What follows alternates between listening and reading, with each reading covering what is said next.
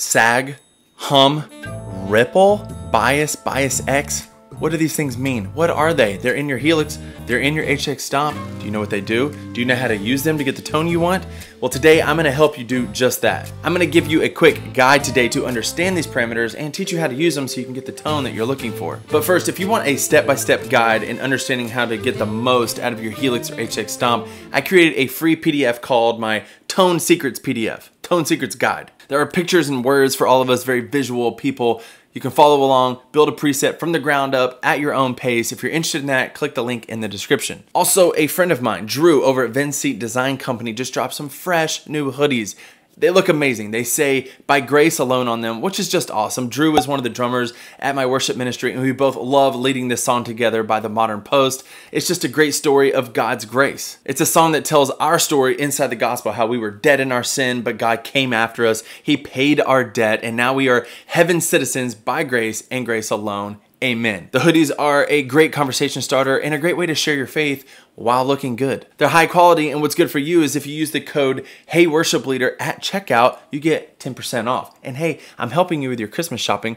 No more procrastinating. Get one for yourself, obviously. Get another one for a friend to give away. There you go. Don't say I'm not trying to help you out. You can click the link in the description to choose your favorite. I personally like the headline style, but the rugged script style is, is pretty cool as well. They also have a, a zip up version for those of us who don't want to mess up our hair. Go check them out. And while you're over there, you can see all the design work that Drew does, whether you want like a new logo or even a new tattoo design, he will hook you up. One more thing, if you don't know, we're in the middle of a giveaway. I'm giving away the Westminster Effects Augsburg Fender-like amp sim. This thing sounds amazing. I'm giving away live November 12th on a live stream. And I'm also doing some other giveaways for those who are there on the live stream. So you can win this even if you don't show up, but you should show up because it's always anticlimactic when I'm trying to give away something and the person who won is not on the live stream like, hey, thanks for showing up, but none of y'all won. So make sure you're there. It's noon on November 12th. I'm going to be giving this away and some other cool things, so check it out. And make sure you subscribe to the channel so you don't miss anything because my next video is going to be running something very special into this. You're not going to want to miss it. All right, let's get into it. All right, so I created some presets over here so we can understand what's happening and then I'll show you exactly what to do to get the tone that you're looking for because all of this stuff is just preference. And I'll also say these parameters that we're going to be adjusting are very closely tied to the amp gain or drive and the master volume of each amp. And so if you have the, the amp drive down or the master down, you might not hear that much of a difference. In these presets, I've cranked the master volume and I had the drive up pretty high so we can hear exactly what's going on. Here's our bass tone.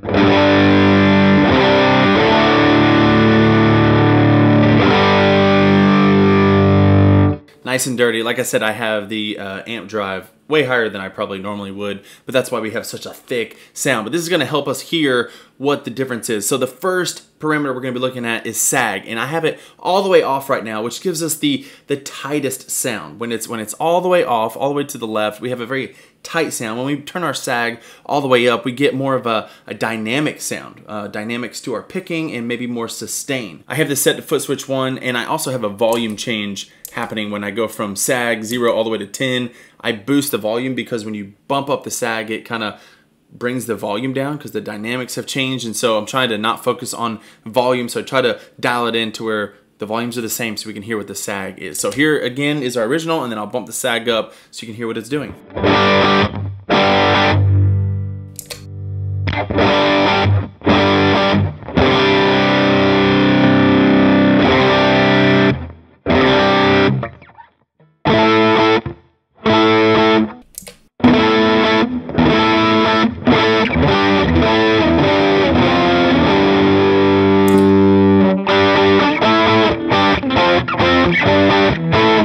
Now this parameter might be more of a feel thing. I don't know if you can hear it as much as I can feel it. I think there is a, a volume difference, but uh, when it's when the sag is all the way up, there's kind of like this lead into the tone rather than it just being right there. The tightness of it being all the way off is just, uh, it's a lot more tight.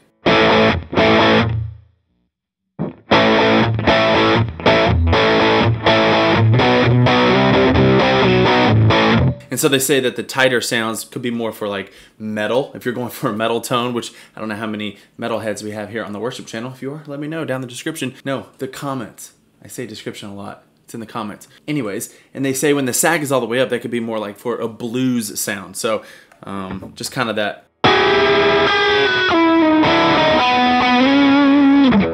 That's my blues. That's what I have for blues. All right, next we have hum and ripple. Um, both of these are designed to kind of give you like realistic amp noises, like additional amp noises that you would get with a tube amp to kind of help those of you who think that these all-in-one units are too digitally. So you can actually add in some noises that you may not want. I don't usually want these, but they're there if you want them. The hum mimics the heater hum that you would get from a tube amp and it sounds like this. This is with it all the way off, so there's no hum. I'm gonna go ahead and turn on. And there's the hum, and it's really loud because I have the drive up all the way and this is the hum up all the way. And when that hum is there, then when you play, especially higher notes, you kind of get like some different fre frequencies cutting through. So without it, you kind of have something like this.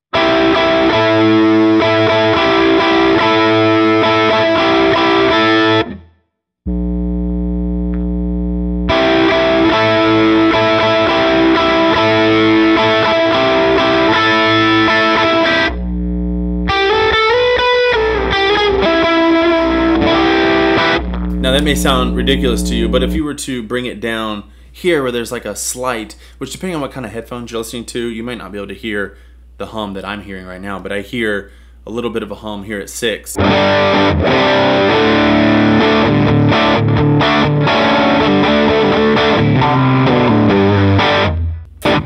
Yeah, so it kind of just depends on what you're going for. Let's hear the ripple. The ripple kind of does the same thing. So I'm going to bring the hum all the way down. The ripple all the way down is just our clean tone. And then all the way up, there's no hum to it, but now we kind of have... I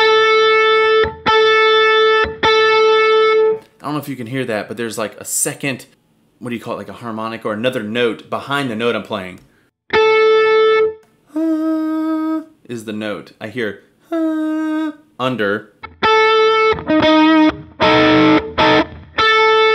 and then without it, that just that note disappears. Without the ripple, you just have the note you're playing.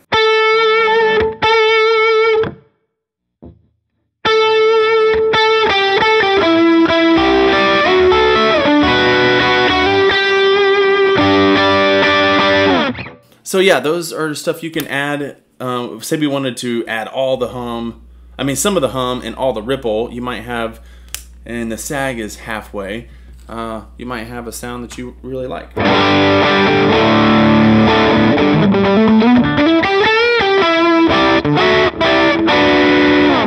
Does it sound like a more realistic amp? Let me know down in the comments. All right, the next one, bias. Now, this might be something that a lot more of you are familiar with if you came from the tube amp world before you got into the world of Helix. Not all of you did, but I know some of you did. And a lot of you were used to getting your tube your tubes biased, either colder or hotter, depending on how you wanted them to respond as the current is flowing through them. Now, if you're like me, I played through a Fender Blues Junior, and those tubes aren't biased, so this was something I had to had to learn. It's not something I ever messed with before. But basically, if the bias is all the way off, you have more of a, a colder bias, and that's kind of like a class AB, which is a sound that gives you more headroom. And then when the bias is all the way up, it gives you more of a class A sound. And the best way I can describe this is like a class A sound is like when it's biased, hotter, I guess. It's when your tubes are like revved up, ready to go. Um, they're already, the RPMs are already up here. And as soon as you attack the string, it's ready to go. But then you don't have as much dynamics as like if it's a colder bias, then you have more of this warming up to the sound. And it's kind of a, a strange way to think about it, but here's what it sounds like. So this is with the bias all the way off. And there's also a volume change, so I tried to keep the volumes the same on this one as well. So bias all the way off.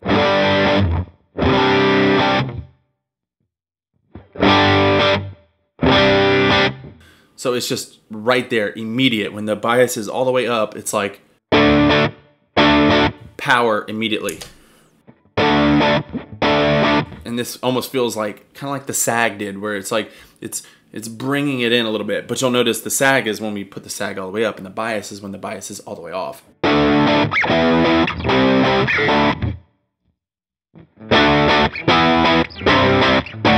Either way you need to ask the question like what is the sound or the tone you're going for or even the feel that you're going for My preference is that I like the sound to be more immediate, like a like the bias being more class A rather than a colder bias. That's just my preference, but you got to answer what do you like? All right, now this bias X or bias excursion determines how the power amps will sound when they are being pushed. Again, our gain is up high, our master volume is up high so we can hear this. And much like the sag, when the bias crossover is all the way off, we have a more tighter feel, and when it's all the way up, it's it leaves more room for compression or sustain. So here's what it sounds like with it off.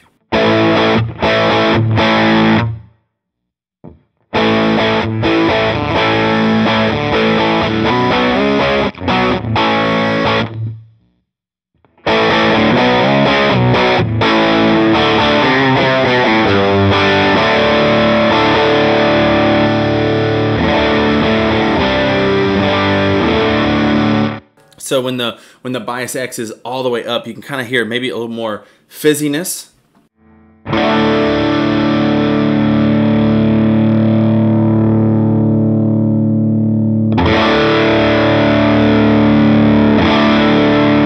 So I feel like when the when the bias X is all the way off, I hear just distortion, not necessarily fizziness. And when it's all the way up, and these are extreme settings, I kind of hear like a little bit of fizziness.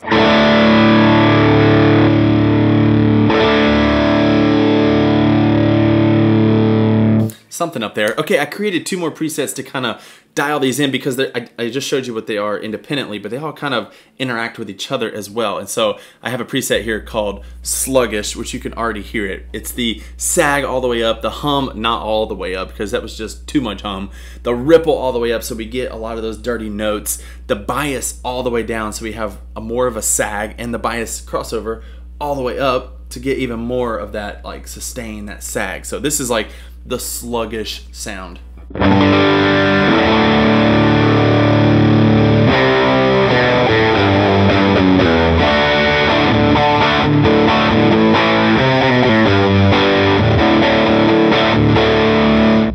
Still sounds good. That hum is just, like I said, if you're not wearing like headphones that really capture it, it, it can be a little much, but that still sounds really good though. I like that sound. It's it's not usually what I would go for, but it sounds amazing.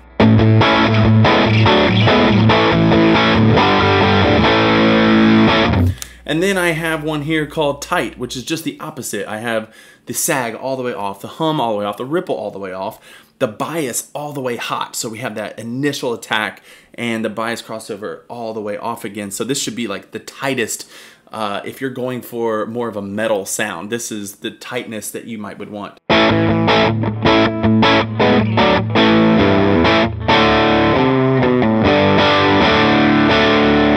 Didn't change any of the gain or the master volume. The drive is the same, but the way these settings are affecting pushing the amp, it just sounds completely different. So here's the tight again.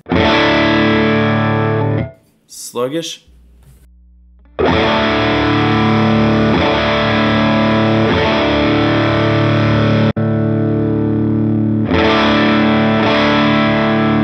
a lot less uh, gain on the tight setting. I also have the channel volume almost halfway down because this tighter setting is way louder. Um, the higher gain stuff is, is more like compressed. So I had to bring the volume all, all the way like all the way down to 5.5 rather than 10 on this sluggish preset. So uh, that's just for your information. That's what the channel volume is for. And if you don't know, channel volume does not affect the tone. It is merely pure volume in or out. So don't worry about the channel volume affecting your tone. It's just if you need to bring something in or out based on how you're using these other parameters like I did. Uh, yeah, that's what it's there for. Let's see how this sluggish and tight um, respond to overdrive sounds real quick before we go. This is the Tube Screamer.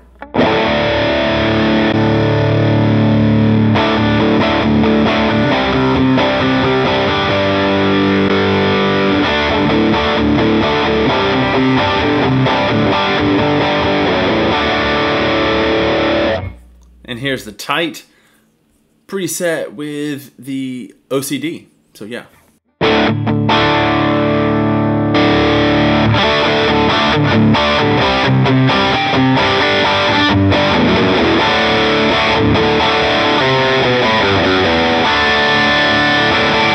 Right, so there you have it. Hopefully this was helpful for you to see what you need to do to get the sound you're looking for. Again, I like, personally, I like more of a, a tighter sound. Not as tight as the, the tight preset where everything was at its extreme, but I don't like as much sag as much of the class A, B. I like the more class A, tighter, hot, ready to go type of sound, but you might be different and your guitar might respond differently. There's a lot of factors and there's so much flexibility you have to adjust it to sound exactly like you want. I know a lot of people, if you do like a quick Google search, there's like discussion boards where people are like, yeah, I, I usually just leave those alone.